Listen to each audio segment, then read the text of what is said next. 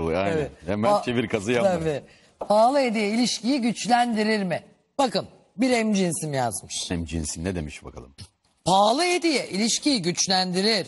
Çünkü erkeklerden ya da eşinizden hep bir şeyler istemelisiniz ki Evet. sadece sizin için savaş versin. Ona memnun olduğunuzu gösterirseniz sizinle ilgilenmekten vazgeçer. Mi, bu öyle demiş. mi?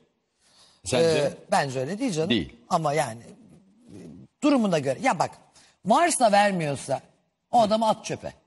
Duyun. Neden biliyor musun? Parasında cimri olan adam sevgisinde de cimridir. Parasında gramcı olan adam sevgisinde de gramcıdır. Hayatı böyledir. Sana hak vereyim. Adama iki tane bana e, meşrubat getir, gazoz getir dersin. İki tane alır getirir koyar. Halbuki altı tane getir de ikisini içeyim. Şimdi arkadaş ilişkilerinde de şöyle bir muhabbet vardır. Yani haklı olduğunu seni teyit etmek için söylüyorum. Şimdi bir yere gidersin. İşte bu kim? İşte bu şuranın sahibi mesela. Tabii. Bu kim? İşte bu bu kadarlık serveti var falan. Oğlum var da bana ne faydası var? Üstüne Karısı sevinsin, ha, karısı sevinsin, çocuğu sevinsin. Sırf arkadaşlık ilişkilerini bu me- meta üzerine kuran erkekler var hani ki bizim aramızda kendimize eleştiri getiriyorum. La oğlum bana ne? Adamın parası varsa karısı çocuğu sevinsin. Sanki sana gittiğin zaman harçlık mı veriyor sana? Maaşını mı veriyor? Ekmeğini mi veriyor? Sen onu bırak karısına veriyor mu? Şimdi dediğin gibi ilişkilerde de parası var da e, sana hissettirtiyor muydu o standardı? Bravo. Hatta geçenlerde seninle konuştuk ya e, ekonomik güçlü diye evlilikler yapan hanımlar bir de bakıyorlar ki kendi standartlarında en ufak bir şey değişmiyor. Bir oturdukları ev var ki kendi üstlerine değil. Bir de şık şoförlü bir araba veriyorlar bunları. O da Market, kendi üstüne değil. marketteki silibe bile bakıyor herif.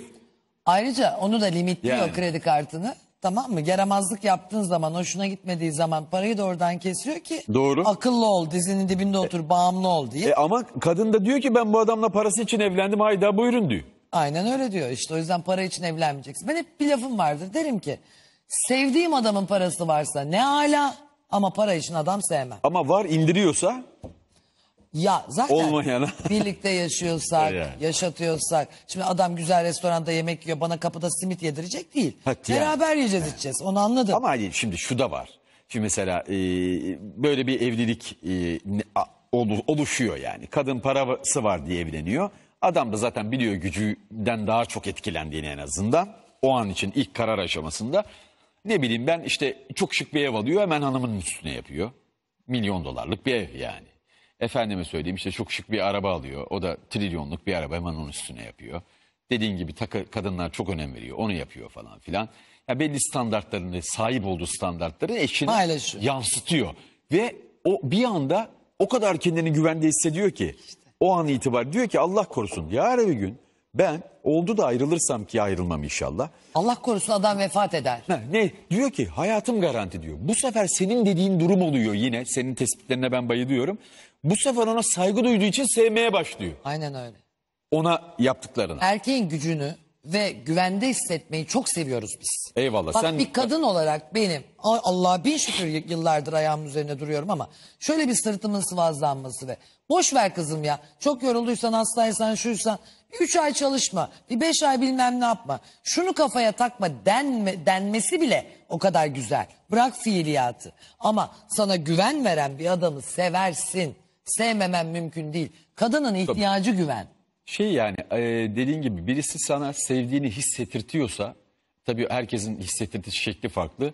E, ona saygı duymaya başlıyorsun. O saygı da sevgiye dönüşüyor. Her zaman. Hani sen çok güzel bir Kadın laf ya. Ne sonradan diyorsun? sever. Şeyi söylüyorsun. E, Erkekler gözüyle kadınlar kulağıyla sever ve kadın sonradan sever ve davranışlar duyguya dönüşür. Heh, işte o. Ona ben yüzde yüz katılıyorum. Davranışlar duyguya dönüşür. Aynen. Aşık olursun o geçer nefret edersin adamdan aman dersin ya. Ki çok Lanet olsun deyip boşanmaya kalkarsın. Değil mi? Çok Dolu. oluyor. Aynen. Aşık olup evlenip de sonra kaçarcasına boşana. Aynen. Aşık olmazsın tanırsın tanıdıkça seversin bir ömür sürer.